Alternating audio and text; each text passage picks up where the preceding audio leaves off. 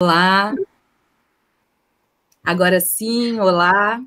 Estamos aqui para o lançamento do nosso livro, Formação Docente em História, Residência Pedagógica, pensando aí interseccionalidades, debates públicos, e é um livro que vem celebrar né, o resultado de um projeto muito precioso, que é o projeto Residência Pedagógica, com financiamento da CAPES, na área específica de História, de ensino de História, com a coordenação do professor Everardo Paiva de Andrade, que está aqui e vai falar daqui a pouco, também do professor Marcos Desemone, e com a minha coordenação, professora Juniele Rabelo de Almeida, somos todos da Universidade Federal Fluminense, enfim, professor Everardo da Educação, a gente aqui da História, mas todos trabalhando com o ensino de História, e com essa parceria fundamental com a editora Letra e Voz, e uma parceria também com o professor Paulo Terra,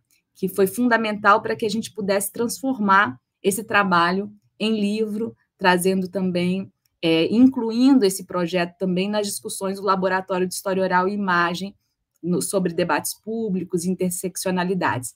Então, é importante também agradecer aqui o apoio do professor Paulo Terra para a concretização desse nosso desejo, né, da materialização do livro em um e-book gratuito que está disponível, é só colocar o nome aí pelo, pelo Google, pelo e-book Google já é possível é, acessar o livro na íntegra. Então é uma alegria estar aqui. É, queria dizer que hoje nós estamos aqui para falar um pouquinho da, do livro, que é dividido em vários capítulos que configuram os projetos né, que nós realizamos no decorrer desse caminho. Então, é, é um exercício que passa desde as discussões sobre podcast decente, pensando ancestralidade e autonomia, discussões que passam por história global e decolonial, pensando aí currículo, o currículo eurocêntrico, discussões sobre RPG no ensino de história, pensando teoria e prática.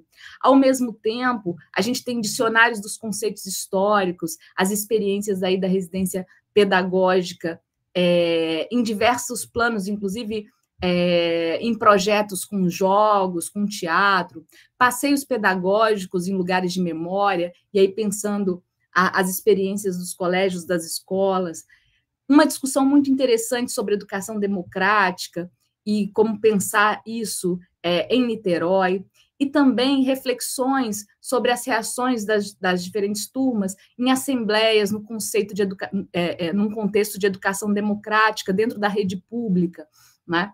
Ao mesmo tempo, temas sensíveis como educação indígena entre passado e presente são colocados também na pensando a desconstrução dos estereótipos, as questões que passam aí por temas sensíveis no ensino fundamental chegaram também é, entre oficinas e podcasts, e há algo que eu considero também fundamental, essa questão do protagonismo estudantil, das demandas aí do aprender, né, trazendo reflexões sobre educação insurgente, tudo isso é, aparece nesse, nesse tecer conjunto que é o livro que nós apresentamos hoje, que traz para a gente, eu volto a repetir o nome para que é, vocês possam buscar também o e-book gratuito, Formação Docente em História, Residência Pedagógica entre Debates Públicos e Interseccionalidades.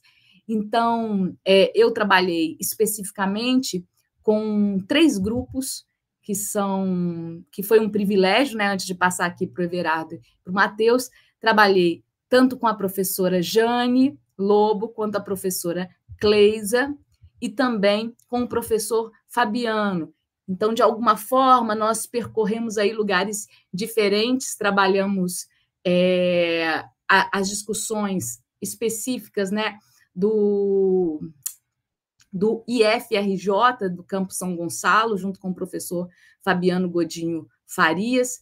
Trabalhamos com o Colégio Estadual Raul Vidal, com a professora é, Jane Lobo, e trabalhamos também com o Cizinho, né, com a professora Cleisa. Então, é, só para também não, não deixar passar aqui batido. Espera aí só um pouquinho que eu vou trazer. É, esses três núcleos estiveram diretamente comigo, da mesma forma que Everardo vai dizer dos seus três núcleos, e Mateus também vai trazer com quem eles trabalharam mais diretamente. E a proposta sempre foi uma escrita que fosse uma escrita coletiva entre a universidade, essa formação docente inicial e uma formação docente continuada desses professores da rede básica que estavam com a gente e a nossa própria formação continuada como professores na universidade. Então, é um momento muito especial. Fora tudo isso que nós estamos falando aqui, da importância dessas discussões, que cada um vai poder dizer um pouquinho, das pessoas que estão aqui presentes para o lançamento, mas também para celebrar uma parceria. Né? Tenho muito tempo que eu estou nessa parceria com o professor Everado e com o professor Marcos Desemone, e também é um, foi um pouco um encerramento de ciclo para mim, e, e, penso que também para o Everardo, é, é um ciclo da residência pedagógica que termina, de alguma forma, e, e, a gente fica com essa vontade de continuar, né? A gente continua pela rede de trajetórias docentes, né, Everardo? E tantas coisas que a gente produz juntos. E eu quero dizer também que hoje é, eu queria ter colocado uma data também agora no, em outubro e nessa semana, meio que numa reação surpresa para o professor Everardo, que é um pouco para festejar também o, o seu aniversário, que está chegando na sexta-feira. Então, a gente também aproveita o lançamento para celebrar a vida do professor Everardo, parceiro precioso da gente, e que é também responsável por toda a motivação né, dessa dessa possibilidade de construir um livro, ele que sempre gosta da coisa dos livros e tudo mais, e estimula esse pensamento crítico, essa, esse fazer e essa escrita coletiva, e a gente sabe o valor disso. Então, agradeço imensamente a possibilidade do livro, celebro o livro e também celebro a vida e o aniversário do Everardo no dia. Então, fica aí meu carinho. E já passo para o Everardo fazer também a propaganda do livro aqui, enfim. Querido, passo aí para você. Muito obrigado, Juniele. É um prazer sempre estar em sua companhia, né? uma companhia que já vem de longe. Né? Nós estamos em programas como o PIBID e a Residência Pedagógica. O PIBID desde antes, desde 2011, 2012, né? então mais de 10 anos já que a gente vem nesse movimento, nessa parceria, né? O Desemone também, que está trabalhando agora no pôde estar aqui, né? e tantos outros colegas que já estiveram com a gente. É uma alegria muito grande, especialmente uma alegria porque esse é o terceiro livro que a gente produz dentro desses programas, né? PIBIM de residência, né? publicamos já muitos textos de muitos estudantes que hoje são professores de história de sucesso nas escolas, né, onde atuam, né? Então, como daqui a pouco também é, muitos aqui, se não todos, né, também estarão nas escolas, fazendo sucesso como professores de história, né? É uma alegria muito grande. O Matheus, por exemplo, né? É um, é um ex-estudante da história também, que agora é um professor brilhante aí, né? Tenho acompanhado de longe o trabalho do Matheus, enfim, né? É, então, eu queria é, também saudar, celebrar com muito entusiasmo, né? Esse momento tão especial, né? Essa parceria feliz, né? Que nós estamos há tanto tempo formando professores de história em diversos tempos e espaços. E ao mesmo tempo que a gente, né? Porque a gente às vezes fala que nós formamos, mas na verdade nós nos formamos, não é? Que é um movimento de muitas mãos, é um movimento, como o Walter repete muito, né? É um movimento de transformação, não é? Porque é uma formação que nos atravessa, não é? Nós, professores que estamos na universidade, professores que estão na escola, os estudantes que são estudantes agora, mas são professores em formação inicial e tal, todos nós é, estamos nesse percurso de formação, não é? é parafraseando lá o, o patrono da educação brasileira, né, a gente poderia dizer que quem forma se forma ao formar e quem se forma forma ao se formar, não é? Quem ensina aprende ao ensinar e quem aprende ensina ao aprender. Então, esse jogo de palavras é muito mais do que um jogo de palavras, na verdade. Né? É o reconhecimento de que é, é, se há algum protagonismo aqui, eu aprendi isso com Juniele, se há algum protagonismo aqui, é um protagonismo absolutamente compartilhado. Né? Todos nós estamos juntos nesse movimento. Né? É, já há alguns anos, né, a gente vem nesse percurso na, na, na, na, universidade, na relação da universidade com a escola, é? é seja é, através dos programas de iniciação à docência, como o PIB de residência, e aí envolvem muitas escolas de Niterói, de São Gonçalo, Rio de Janeiro, que já estiveram com a gente nessa, nessa caminhada, né? Mas também assim os nossos grupos de pesquisa, né, Juniela, a importância do Laboi, a importância do laboratório de ensino de história lá na educação, né? A importância dos programas é, de é, de pós-graduação, não é? Como é o caso do, do programa em História, o programa na Educação, e como é o caso também do Prof. História. Quer dizer, na verdade, nós estamos dentro de um contexto, não é? que é um contexto é, muito favorável a esses percursos de formação ou, repetindo, né, de transformação nesse sentido, né? É, muito feliz também, assim, é, especialmente, é, porque esse livro é, é, ele, ele traz um pouco da cena, né? E aí é interessante a gente pensar o, esses percursos de formação, né? Como cenas, né? A cena da iniciação, sim, da iniciação à docência, né? Esse, esse cenário né, tão importante, né, é, como o, o, talvez o momento de conclusão da residência pedagógica, da forma como nós entendemos, porque é um programa que, ao que tudo indica, nas atuais políticas é, públicas, é um programa que deixa de existir a promessa aí da construção de um programa de, de residência docente, né, para atender é, aos professores nos primeiros anos de, de vida profissional na escola, é? mas, por enquanto, está muito no plano da especulação ainda. De qualquer maneira, a residência pedagógica deixa de ter esse formato e talvez seja redefinido futuramente na perspectiva de uma residência docente. Vamos aguardar para ver, né? E o PIBID, então, se consolida, ficou como o programa que permanece, né? Então, nesse momento né, do epílogo, vamos dizer assim, né? Da, da, nossa residência pedagógica, poder estar aqui junto com todos né, e todas, né, é, e, e, em especial com aqueles professores das escolas, aqueles estudantes que estiveram nas escolas durante é, o último ano e meio aí, né, que durou o nosso programa, né, é, dois, dois grupos que estiveram juntos lá no Colégio Estadual Manuel de Abreu, não é? É, dois grupos muito potentes, né, com perspectivas muito diferentes, né, e, e isso só comprova a riqueza não é, é, das experiências vividas na escola, né, como dois grupos é, tão diferentes, ainda assim, fazem coisas tão importantes. Né. Um outro terceiro grupo que não estava no Manuel de Abreu, porque estava no IEPIC, então, lá no IEPIC, não é, a gente teve, durante esse ano e meio, a companhia muito feliz, né, do nosso querido companheiro, professor Saulo, né? Saulo é, já está há algum tempo também com a gente, Saulo Nunes de Souza, né? Além de, de enfim, supervisor, não é, atuando com a gente aqui. Saulo recebe muitos estagiários do, das PPEs, não é? é lá no, no, no, Manuel de Abreu, a professora Adriana Mastrangelo Ebekin e o professor Walter José Moreira Dias, que eram os nossos, como a gente chama, né, os nossos preceptores na linguagem formal da residência, né? É, mas os nossos preceptores não seriam não seriam isso, né, não fossem é, os estudantes que naquele momento estavam lá. Né? Eu vejo aqui Iramaia, que estava lá no IEPIC com Saulo, vejo aqui, é, enfim, estava vendo ainda há pouco aqui pela, pelas, pelas telinhas aqui, é, também outras pessoas que estavam com a gente, né? Iramaia, Juliane, que estava também no Anel de Abreu, né? Enfim, é, eu saúdo a todos e, e, muito enfaticamente eu convido a leitura, não é? Porque são textos preciosos, são textos construídos nesse entrelugar da formação, da formação de todos nós, não é?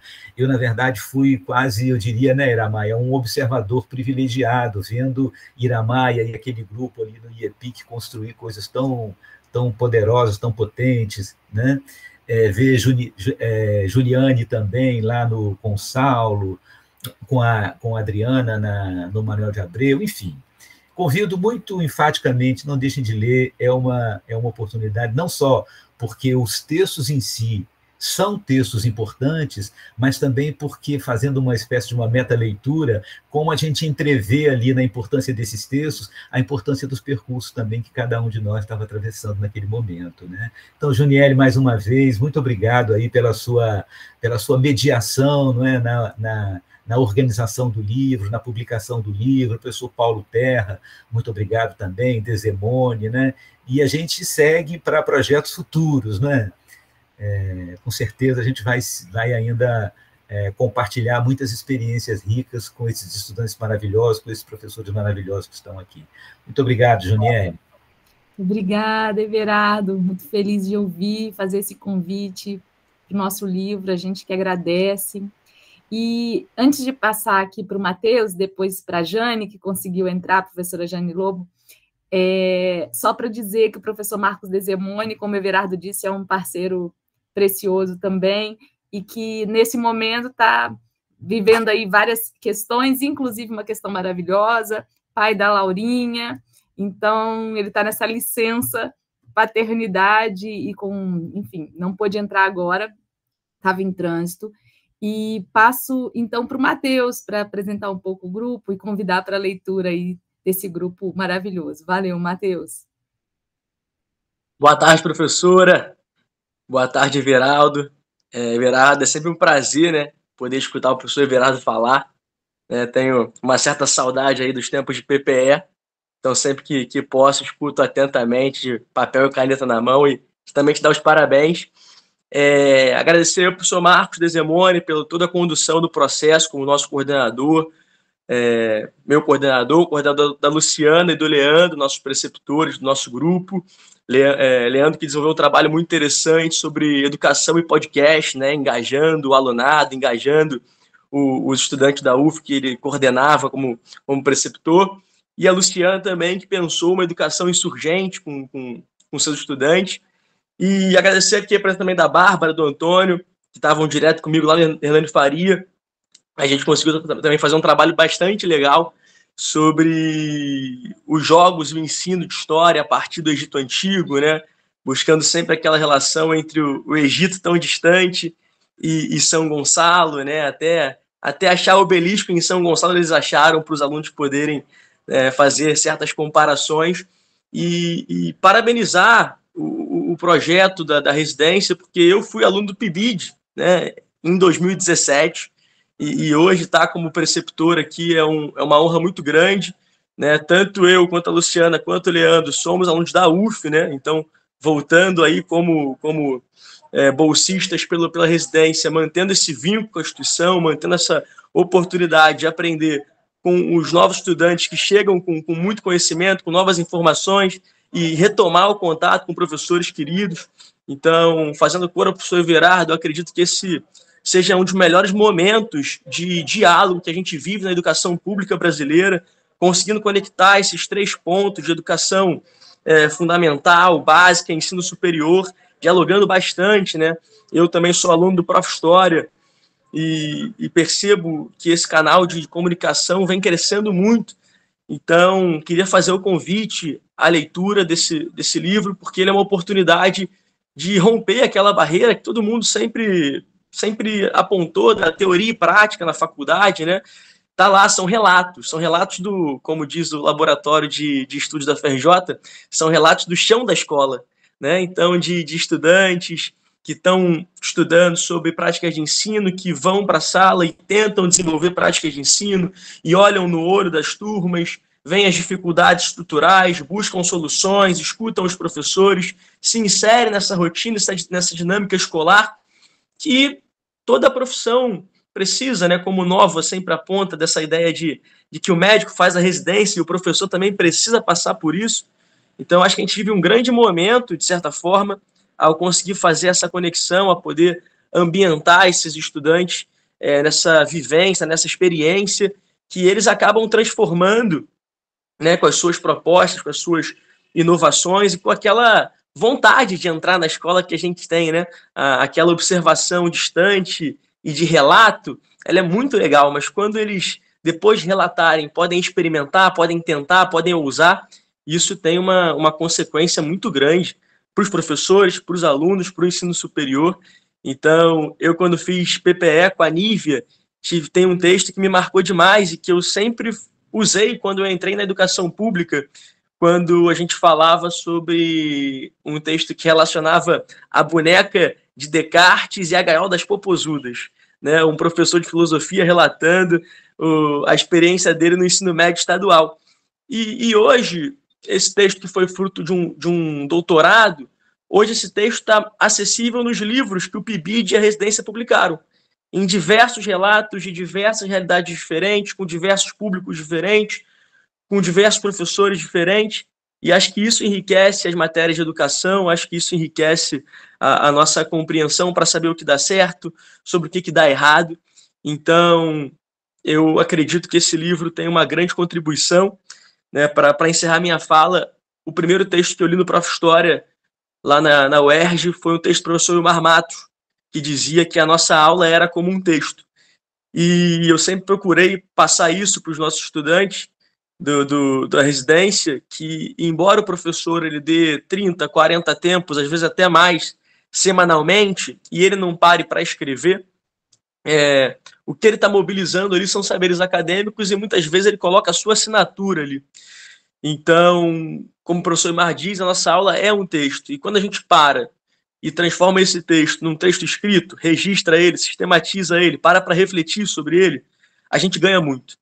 A gente ganha muito porque a gente vê o nosso trabalho eternizado, a gente avalia o nosso trabalho, a gente reflete sobre ele e divide com a comunidade que é o grande sentido da educação, essa partilha coletiva incessante que, que a gente tenta todos os dias ali dentro da sala de aula, dentro da escola. Então, agradecer aí ao professor Marcos pela oportunidade, pela coordenação, e agradecer ao Everardo e a Juniele pela, aí, pelo companheirismo aí e os ensinamentos já desde, desde 2013. Eu saí em 2017, mas, mas comecei em 2013. E agradecer a todos os bolsistas que trabalharam comigo, com o Leandro e com a Luciana, que foram grandes amigos, grandes parceiros e agregaram demais ao nosso trabalho, contribuíram muito com o nosso olhar pedagógico nesse processo. Então, fico convite para que todos possam ler e desfrutar desse, desse nosso livro. Puxa, Matheus, muito obrigada, parabéns pelo lindo trabalho, agradecida pelas palavras, pela generosidade, por representar também o professor Marcos Desemone e o grupo. Leandro também conseguiu chegar então, eu vou passar para a Jane e depois para o Leandro. A gente está aproveitando os, os, preceptores, depois para a Ágata, para a Irabaia, quem mais quiser fazer o convite, ajudar aqui na divulgação do nosso livro. Jane, querida, passando a palavra para você, querida. É, em primeiro lugar, né, gostaria de agradecer a todos a oportunidade de estar aqui conversando né, vocês, falando aí desse livro, né, que é um, um desfecho tão importante né, de dois projetos, Residência Pedagógica, o PIBID, e são projetos que eu sou apaixonada por eles, né, apaixonada pela oportunidade, pegando o que o, o Matheus falou, né, ele falou de uma partilha coletiva de conhecimentos, eu acho que é isso que esse projeto né, vem colocar, né, que é possível fazer essa partilha coletiva, e não só uma partilha, mas uma construção coletiva de conhecimentos entre a universidade, entre a escola de educação básica, entre os alunos, né, que são os estagiários, entre nós, professores, né, tanto da universidade quanto da educação básica. Então, é um, um conhecimento partilhado, construído coletivamente. Né? Então, assim, eu sou apaixonada por esses projetos, por poder estar né, é, participando, é uma honra participar deles. E ter esse livro aí né, como um resultado dessa experiência. Né? Eu costumo falar que a experiência nem sempre sai exatamente conforme a gente pensa, né? mas ela é uma experiência. Então, a gente está mostrando aí os frutos disso, né? os frutos de um ano todo com esses alunos, né? o que, que nós conseguimos é, é, proporcionar né, nesse ambiente escolar, nessa ligação da universidade e escola básica. Né? Então, acho que a, a, chamada de leitura para esse livro né, é isso, né, é, é, mostrar o resultado, mostrar que é possível né? mostrar que, embora a gente, às vezes, tenha um cenário político que nos entristece, mas é possível a gente implementar práticas que venham trazer um crescimento para a educação, que é possível a gente mostrar para esses futuros profissionais né, que vão estar aí dentro da sala de aula, que vão ser nossos colegas né, de sala de aula, né, é, o quanto que a gente tem que ser movido por uma esperança, né, que é a esperança do Paulo Freire, que vai falar que não é a esperança da espera, mas é a esperança de você colocar em prática, de você movimentar, de você fazer acontecer né, dentro desse espaço de produção de conhecimento que é a Escola de Educação Básica. Né, assim, eu fico muito feliz, eu peguei uma equipe maravilhosa, né, é, desde a, de vocês, a, a né, o Everardo, os alunos todos que estavam junto comigo, né, ali no, no dia a dia, né, alunos comprometidos com a educação, todos eles que fizeram parte desse grupo que estava junto comigo, e nós tivemos a felicidade de participar de dois capítulos né, desse livro. Um capítulo ele vai falar sobre é, a, a, os passeios pedagógicos em lugares de memória, né? E aí a gente quis mostrar que é, levar o aluno a, a, ter uma prática de um conhecimento mais democrático, né? tirando ele de dentro da escola e levando ele para a vivência de outros conhecimentos, de outros saberes, em espaços de memórias. Né? Foram quatro visitas que a gente fez, é, em, em, espaços de memória, né, o Museu de Arte do Rio, o CCBB, teve uma visita à Fortaleza de Santa Cruz, e aí a gente não conseguiu ir de fato à Fortaleza por questões burocráticas da instância que, que é, comanda né, lá a Fortaleza de Santa Cruz, mas também foi um passeio maravilhoso, por isso que eu falo que a experiência né, esse resultado às vezes não sai como a gente planeja, mas quando a gente planeja, ele é um resultado que a gente colhe frutos ricos. Né? Então, a gente planejou essa visita, não conseguimos entrar na fortaleza de fato, mas ficamos ali ao redor. Né? A entrada da fortaleza não nos impediu de levar os alunos e de debater até com os alunos porque a gente não conseguiu ter acesso àquele espaço de, de conhecimento né, de cultura, por que, que não foi né, com sentido para a gente estar ali naquele momento. Né? E dali a gente falou sobre a, a, luta dos pescadores em Jurujuba, a história de Jurujuba, né? dentro da, da, história de Niterói, dentro da, da própria história do Brasil colônia. Então, assim, a gente não perdeu é, o foco do passeio de trazer né, outros conhecimentos para o aluno de uma forma mais dinâmica, de uma forma onde ele ocupe outros espaços de memória dentro ali da, da cidade que eles fazem parte e que muitas vezes eles transitam só da escola, né, de casa, terminal, terminal, escola, né, e não visita esses outros espaços, eles nem sabem eles ficam surpresos e muitas vezes eles falam assim, professora, a gente não sabia que a gente podia vir aqui. E aí eu fico assim, a gente se pergunta como que eles não sabiam, né? E assim, a gente tem ele vários museus e vários espaços de memórias, mas de que forma que esse conhecimento é levado para os nossos alunos? De que forma que eles entendem que eles fazem parte, né, como sujeito, né, crítico histórico daquele espaço, que aquele espaço também é para eles e que aquele espaço é um espaço democrático de construção de conhecimento. Né? Então, é, é, esse, esse capítulo do livro vai mostrar um pouco isso, um pouco essa dinâmica, né? abrindo aí algumas reflexões quanto a isso, e até mesmo, será que todos os espaços que deveriam ser democráticos né, estão realmente tendo esse viés democrático para os nossos alunos? Né? Até que ponto essas portas que estão abertas realmente estão abertas? né, realmente estão convidando eles para entrar e para ter é, esse tipo de conhecimento. Né? Então, a gente traz essa reflexão. E é, o outro capítulo foi também uma prática que a gente fez, essa já foi uma prática dentro de sala de aula, que foi o dicionário é, dos conceitos históricos. Né? A gente escolheu plataformas que o aluno, tudo foi assim, é, colocando o mais próximo de, de estar à frente dessas, dessa formação, né, dessa prática docente. Então, a gente, a todo momento, fazia questionários perguntando ao aluno, a gente perguntou qual é a plataforma que eles costumavam editar é, vídeos, então, eles escolheram o Canva, né, então, a todo momento, colocando o aluno, né, chamando o aluno para participar, né, desse projeto também conosco, né? não só o aluno como receptor, mas o aluno é, ativo, o aluno participativo ali. Né? É, então, a gente usou né, a, a, tecnologia ao nosso favor, aí pegamos o gancho da BNCC, que fala sobre isso, né? a utilização dessas novas tecnologias, e o aluno ele é, fez, então, é, vídeos, pequenos vídeos, esses vídeos eles estão no YouTube, né, tem lá essa plataforma, e essa plataforma seria uma plataforma de consulta para eles, depois, se eles tivessem algumas dúvidas sobre os assuntos históricos. Os assuntos históricos também, os alunos, eles escolheram, eles selecionaram, a gente mostrou para eles, né, dentro do livro, quais os, os temas que eles poderiam trabalhar, então eles escolheram os temas, né? E nós fomos orientando a eles. Dentro desse trabalho do Dicionário de Conceitos Históricos, é, nós trabalhamos também sobre fake news, nós trabalhamos a importância de pesquisar as, as fontes de informação da internet, né? o quanto que a internet ela é boa, mas ela tem que ter esse olhar também né, é, histórico, científico, daquilo que está sendo falado, do conhecimento que está sendo espalhado amplamente por essa plataforma digital.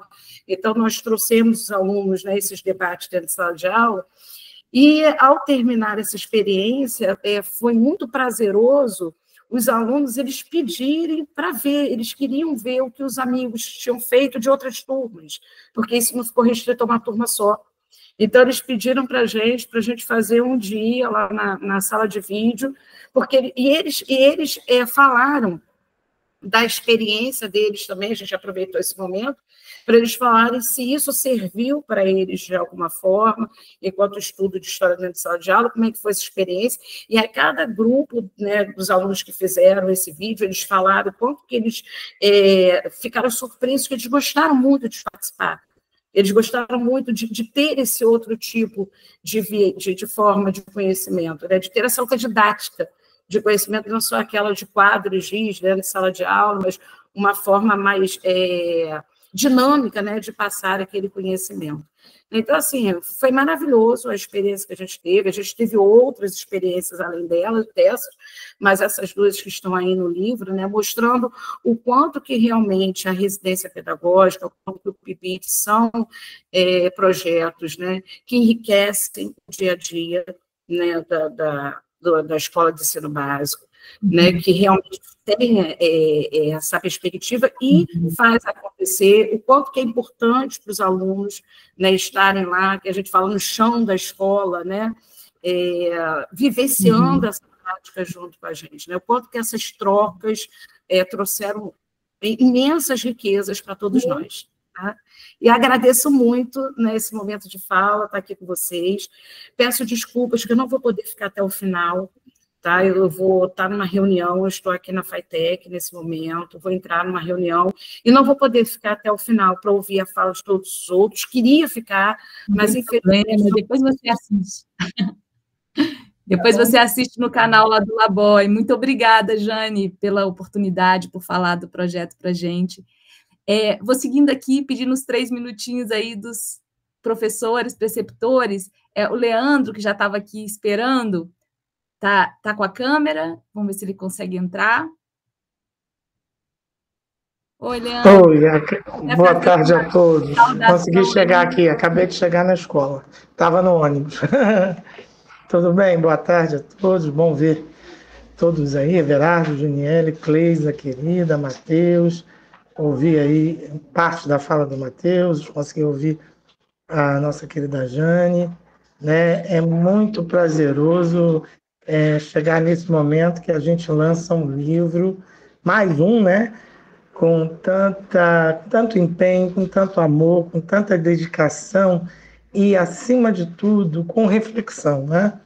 Porque é, participei do PIRP lá em, na primeira versão de 2018, depois do PIBID com o Everardo, e agora com Marcos Desemone na PIRP. Foram três experiências fantásticas, mas é, completamente diferentes, né? cada uma é, com um desafio diferente. E dessa feita, o desafio era a escola. Uma escola, né, porque eu, eu saí do Liceu Lu Peçanha, fiz esse movimento para o Menezes Vieira, não, fiquei lá dois anos, hoje estou na rede estadual, permaneço, mas estou em São Gonçalo, no Oswaldo Ornelas, e passei pelo Menezes Vieira, e lá havia uma expectativa muito grande, né, de que a escola crescesse em tamanho, em movimento, porque sairia né, do seu prédio histórico de mais de 100 anos para o CIEP, para um, um, um, ocupando né, onde era o antigo CIEP Roberto Silveira. E isso vinha mobilizando muito a escola. Né? E aí o PIRP chegou lá conosco em 2000, maio de 2023 e a galera que trabalhou comigo né, veio muito entusiasmada justamente para trabalhar em cima dessa mudança. Mas a mudança ela foi lenta, gradual, não foi restrita, né? A escola acabou é, migrando para uma escola é, vocacionada ao esporte, todo, totalmente diferente do que a comunidade escolar até então imaginava. A escola diminuiu de tamanho, mas ainda assim nós conseguimos fazer algo que foi de extrema é, felicidade, de extrema necessidade para os estudantes, a maioria da comunidade Buraco do Boi, em Niterói, né? que foi através da participação do PIRP é, colocar aquelas crianças, que a maioria do sexto ano, em movimento, né? e mostrar para eles que apesar de todas as dificuldades do cotidiano, e de tantos nãos que eles recebem, seja dentro da própria comunidade, seja dentro da escola, seja no dia a dia, é possível e foi possível a construção de saberes coletivos. Né? João está aqui, eu estou vendo o João aqui na, na, no vídeo, João Félix foi um, um cara que foi muito importante nessa trajetória porque teve a sensibilidade do ouvir, e do agir, né? E contaminou positivamente, não gosto dessa palavra, mas é, é a que veio aqui, né? É, irradiou, para ficar melhor, para colocar melhor, irradiou para todos nós do grupo, do núcleo, essa possibilidade. Então a gente tem um texto no livro que ele fala de esperança, fala de fazer, de poder e, e realização, mas que não deixa de lado é, a crítica, né? não deixa é, de lado as questões né, de colocar como é difícil. Por que, que a escola de a escola não a escola de samba já ia me traindo aqui porque né, a escola de samba nem tanto. Por que, que a escola pública ainda é um território da dificuldade, né? Por que, que a gente tem tanta dificuldade de fazer, mas que a gente pode fazer sim, realizar sim, através da perspicácia e através da esperança e através da persistência. Nós, quando a gente persiste, a gente consegue e a gente conseguiu. Dentro da nossa é, pequena possibilidade, dentro das nossas dificuldades, conseguimos sim sementes, sementes para aquela galera lá eu, quando visito a escola, de vez em quando eu passo por lá e eles falam: ah, a gente tem saudade, a gente tem saudade, como é que está o pessoal? Então, então, essa sensação é mais do que uma sensação, é poder ver, né, que, como dizia Paulo Freire, né, quando um educador ele educa com, com amor e carinho, ele deixa uma marca no seu, no, naquele educando que vai ser eterno, né? E acho que a gente fez esse movimento lá. E eu sou muito grato. E sou grato a todos aqui, ao Marcos Desemone pela condução, é, ao Matheus, a, a Luciana, que fez parte da, da equipe, ao Everardo, ao Juniele, a pessoas tão queridas que a gente encontra na vida, né? Eu, eu tenho um carinho muito grande pela Jane, pela Cleisa, que são parceiras aí de longa data nesse trabalho a gente aguentando esse, esse desgoverno né, do Estado que não, que não tem, não, dá a mínima para a educação, né? A gente tem que é, persistir e driblar as violências cotidianas. Mas está aí, formação docente é lindo e vai é, semear muito mais. Viva o PIP, viva o PIBID, longa vida para eles. Leandro, querido, muito obrigada, sempre bom te ouvir. Olha, nós temos ainda 10 minutinhos, eu vou passar para a professora Cleisa, depois para as nossas é, representantes aqui, a Ágata e a Iramaia, e alguém que queira fazer uma saudação final também, um convite final para o livro, já agradecendo. Cleisa, querida, ah, já está com o vídeo aqui.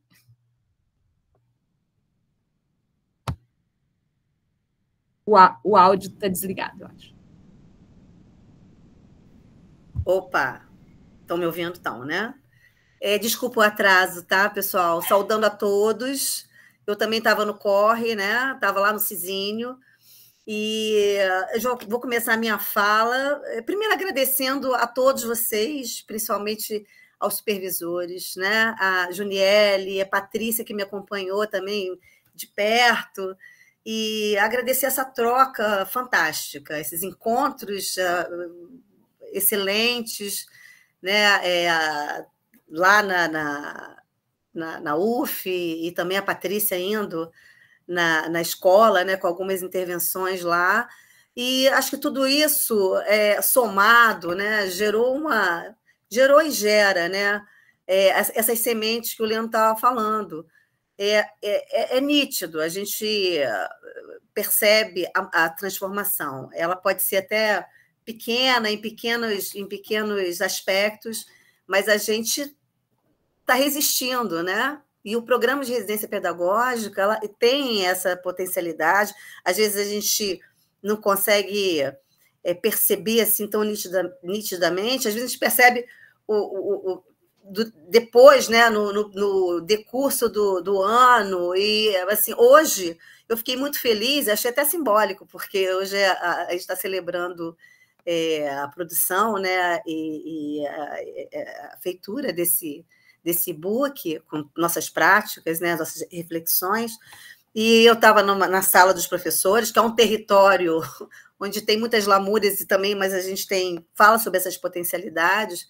E uma professora que geralmente não não era afetada por essas ações, ela sim veio conversar comigo e já está querendo é, participar e uh, já mudou completamente né, a visão dela em relação à educação antirracista, porque ela era e, muito resistente, muito resistente. Né? E uh, eu, eu achei assim, tão interessante porque é fruto, é resultado né, do que a gente vem fazendo. Eu comecei em 2018 e, e desde então é, a gente está sentindo essa transformação nos alunos, os alunos também se sentem é, é, mais, mais, assim é, representados e, e, com essas, essas é, é, pedagogias mais inovadoras que a gente leva com, e também com essa abordagem antirracista, eles também sentem né, essa, essa potencialidade.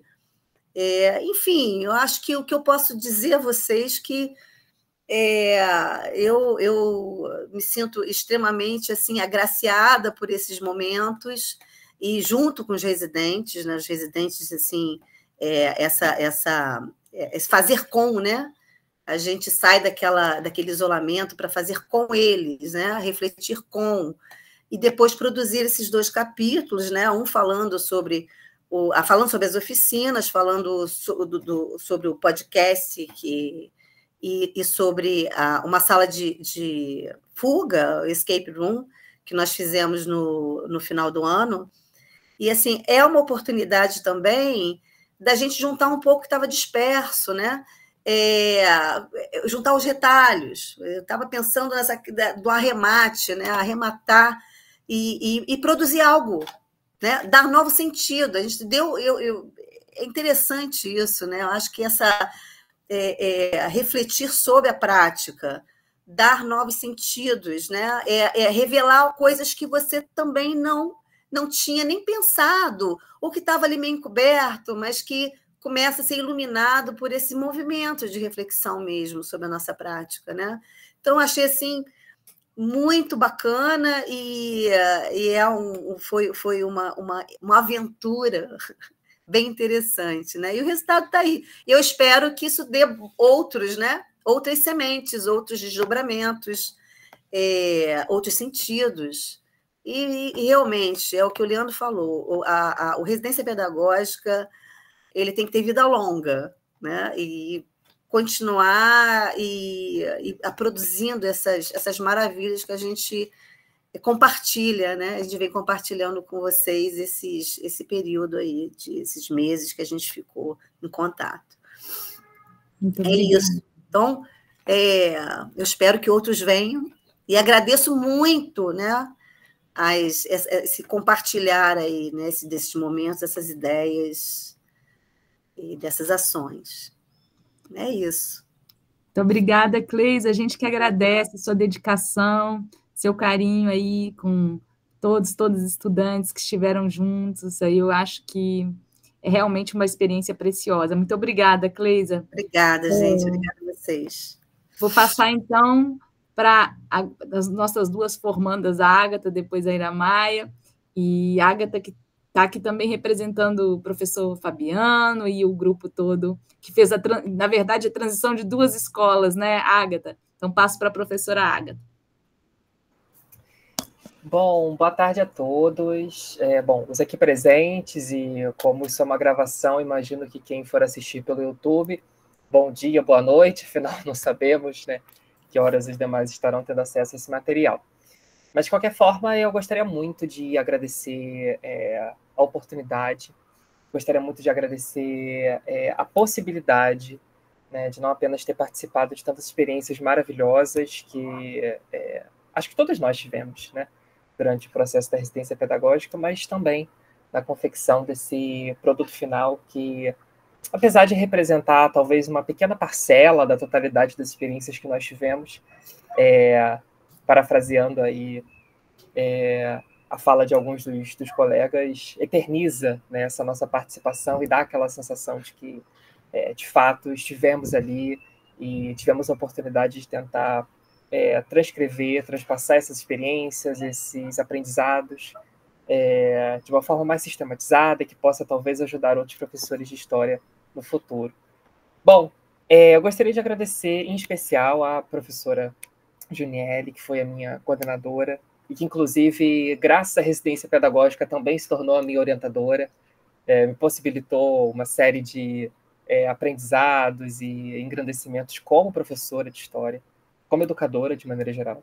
E o professor Fabiano, que infelizmente não pôde estar aqui presente conosco, mas que é, contribuiu muito para a formação, e nesse aspecto eu acho que eu falo por todos os meus colegas de núcleo, por nos dar uma abertura tão bacana no IFRJ, né, no Instituto Federal Campus São Gonçalo, onde nós tivemos a oportunidade de lidar com alunos é, em diferentes contextos, é, naquela loucura do ensino médio concomitante com a formação técnica, é, num polo, num campus, numa ótica educacional, onde a história é, acaba sendo uma das disciplinas que fica muito de lado e é muito subaproveitada então, o Fabiano nos mostrou como que ele tenta ali no dia a dia tirar leite de pedra e tivemos a oportunidade de contribuir com suas práticas pedagógicas e desenvolver as nossas. Né?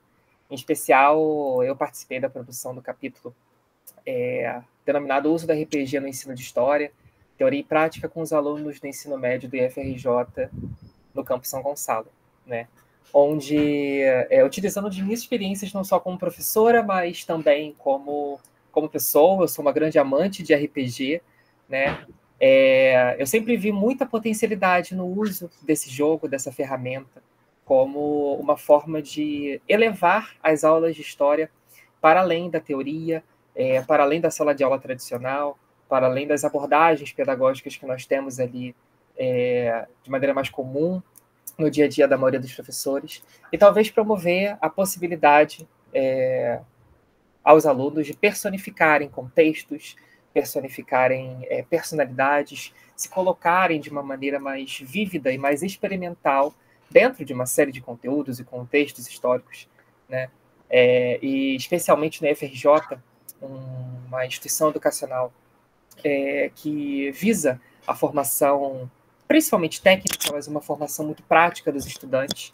Nós conseguimos fazer um trabalho muito bacana utilizando essa ferramenta, não apenas eu e o professor Fabiano, mas todos os, os nossos colegas. Enfim, convido todos os que estiverem assistindo é, essa apresentação, esse evento né, de lançamento, a conferirem o livro. O material é muito bacana. É, não apenas o meu capítulo, mas o de todos aqui presentes, de todos os núcleos. Eu acho que dessa forma é, vocês vão conseguir acompanhar, ao menos alguns aspectos, é, partes específicas é, selecionadas, com muito carinho, é, com muita emoção e com muito profissionalismo de todos nós. É, esse processo tão bonito e tão é, fundamental para a trajetória de todos nós aqui presentes, sejam como docentes e discentes também. Então, é isso. Muito obrigada aqui pelo local de fala e pela oportunidade. Muito obrigada, Agatha. A gente que agradece esse convite lindo e a sua colaboração sempre direta, intensa e com muito critério, com muito rigor, agradecida. Ira Maia, nossa Maia, será que ela pode abrir o vídeo, falar um pouquinho?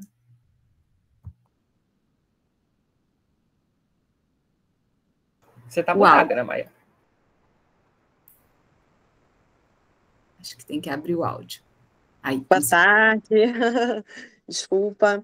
Primeiramente, né, como todos, me sentindo muito honrada, né, de estar aqui, de ter participado dessa residência, de estar aqui com duas pessoas que significam, significam tanto para mim, né, o Everardo aí, como o nosso amigo disse, né, saudade da PPE, né, como que a, aquele momento foi tão significativo para mim, aproveitando para dizer que você foi um professor muito marcante para mim, você não sabe o quanto.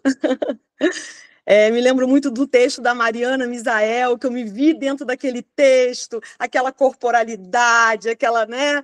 E me apresentou é, é, a, história, a história de vida, a história oral, me apresentou a Juniele, né, que me deu também a oportunidade de estar trabalhando né, lá no nosso, na nossa biodança, né, com essa, essa, essa história oral. Então, o Everardo me mostrou a importância né, de se inscrever na, na residência, eu não iria me inscrever, né? Porque eu não sabia a importância de, de participar desse programa de, de iniciação à docência, de estar me formando dentro do chão da escola, né?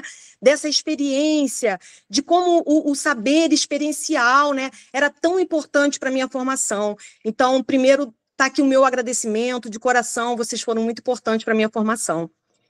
E é, nós escrevemos dois capítulos né, desse livro maravilhoso, está aqui o convite né, para essa leitura tão importante, é, desse produto que evidencia o processo, né? Está aqui muito evidente é, é, o que, que a gente vivenciou, essa troca de saberes, né? É, e eu, eu me vi ali em alguns momentos muito feliz em ver o, o preceptor falar para gente como eu aprendi com vocês. Né? Então, essa troca de saber, o, o quanto os alunos também é, ensinaram para a gente. Né? Eu lembro que um dia a gente foi dar uma aula, né, que a gente fez ali todo o projeto da aula, e a gente trouxe um filme, né, para as crianças de, de sexto ano, e estava muito calor, e o ar-condicionado foi ligado, fomos para a sala de multimídia, e as crianças dormiram na, na, naquele momento, e eu chorei, eu fiquei muito frustrada, né? Porque para mim eu sabia, eu tinha corporalidade, eu, eu, eu, tenho essa, né? Essa, então eu, eu, eu até essa frustração, né? Me serviu para me ensinar né, que não é, não é um, um, ensinamento padronizado, né, e sim através da particularidade de cada criança, de cada turma, de cada ensino, né. Então, essa experiência de formação foi uma experiência muito significativa e importante para mim enquanto professora. E saber que todas as questões que a gente passou ali é um momento de aprendizado, né? É um processo que nos leva a ser é, é, professores é, bem formados, né, através dessa experiência.